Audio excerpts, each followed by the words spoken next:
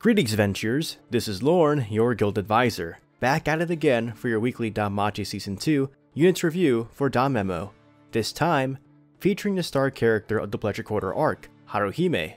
She's finally been added into the game to coincide with the climactic episode, and she certainly does not disappoint. And this time, you have 2 free 11 draws with a chance to get her, rather than the standard one. Similar to the previous anime units, she also has the standard 1st, 4th, and 10th guarantee banner, along with a paid banner you can purchase up to 3 times. This beautiful Renard, who grew up in the Far East, is a fan favorite character in Danmachi, but is she worth the iris? Long answer short, absolutely. But let's break down her character.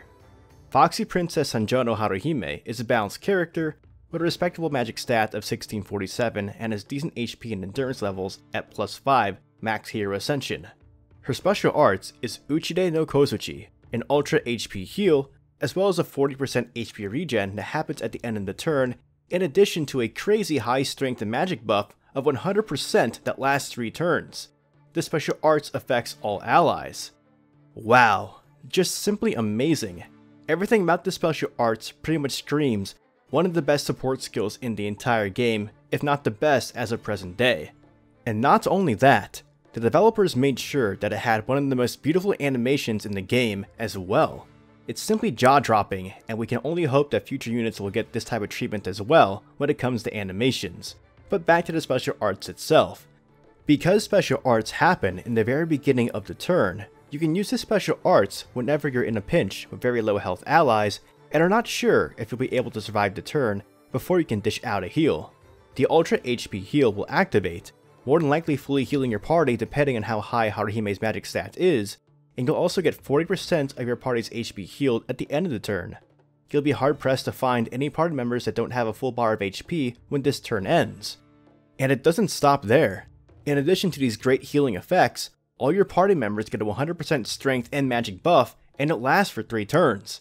Since it affects both strength and magic, Haruhime is an extremely versatile unit that works in physical, magic, and even party compositions that contain both types of damage if you're focusing on an element for example.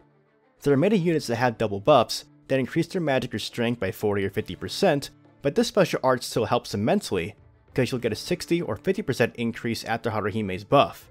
This move is particularly great to use in Record Buster, especially after the Record Buster boss uses a special attack, since they use it at the very beginning of turns 5, 9, and 13, before you can select any actions.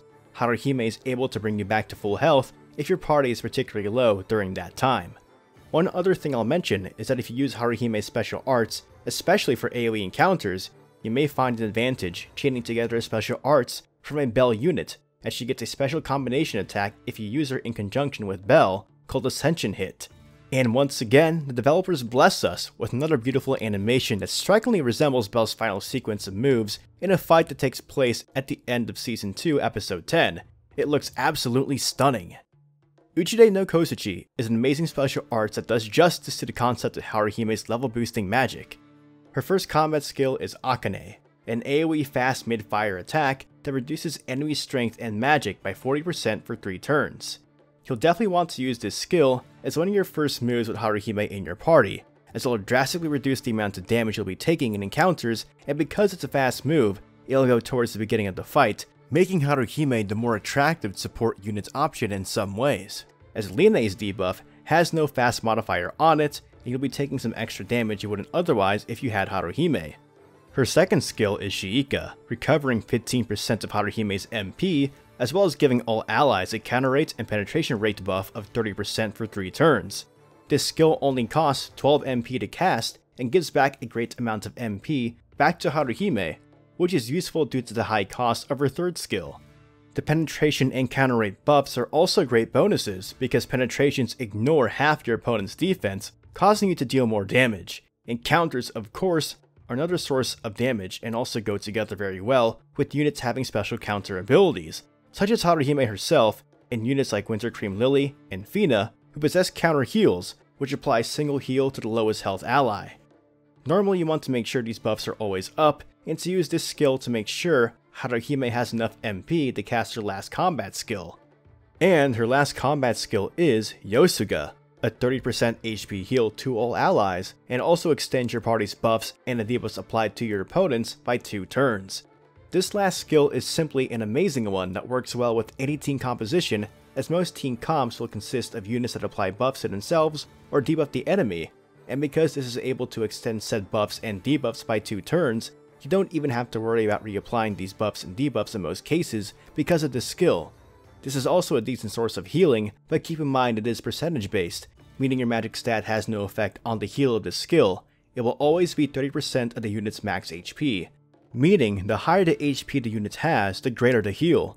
Obviously this works very well with high limit broken and ascended units. It's also this skill that allows Haruhime to extend her own buffs and debuffs, meaning she can even extend the 100% strength and magic buff applied by her special arts, as well as the 40% strength and magic debuff she applies to the enemy with her first skill. The one thing to watch out for is the high cost of this ability, a whopping 141 MP, which is a huge chunk of her MP gauge. This is why you want to use this skill wisely and also time the application of her second skill, so it recovers a good amount of MP when you need it. And since her MP heal is also percentage based, the better assist you have on Haruhime, the more MP she'll recover from the skill. As for notable abilities, she has the counter heal ability, healing your lowest health ally when she counters an attack. This heal can be for a huge amount, especially if your Haruhime is highly limit broken or ascended, or are currently under the effects of her 100% magic buff. She also has an additional damage reduction of 30% on her guards, sports 35% when resistance, and recovers 4% of her HP and MP at the end of each turn, again helping her get more MP to use her last skill more often. Where Haruhime will shine the most is in PvE encounters like Familia Rushes and especially Record Buster. You can go check out the top ranking players in Record Buster right now, and they are all using Haruhime. Her kit is just amazing for it.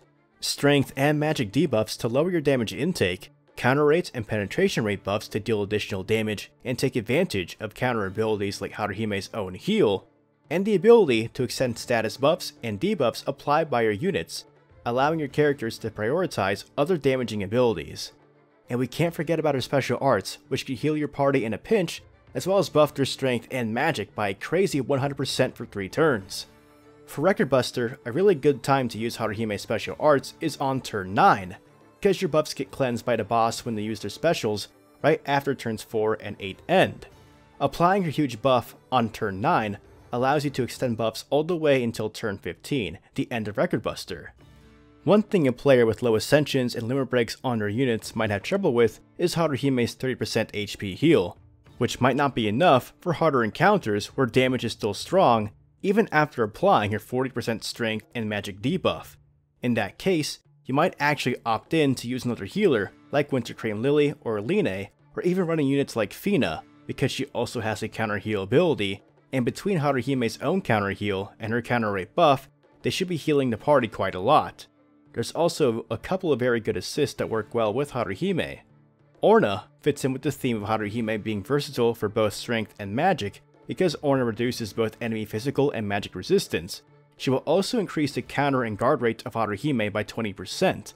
That counter rate will of course stack with Haruhime's own 30% counter rate buff and make Haruhime heal very often through counters.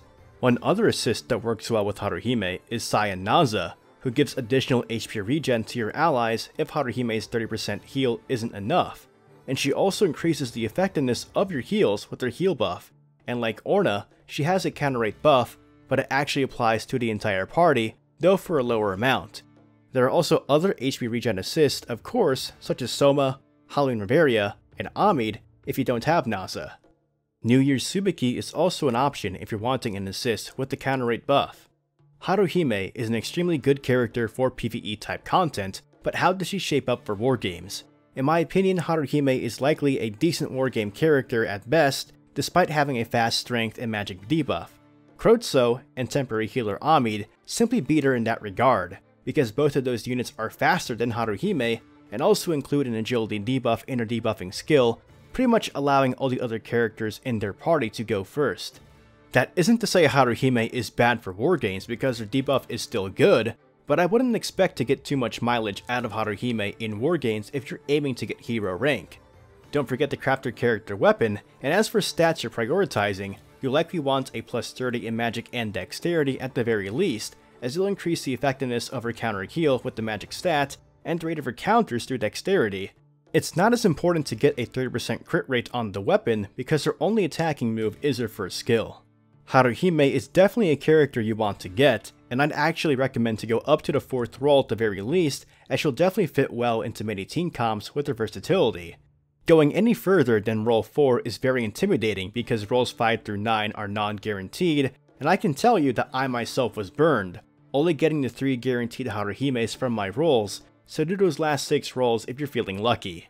And definitely don't forget about increasing your CP levels on all 3 of your town heroes. You want to get those bonus stats so she has as much HP, MP, and magic as possible.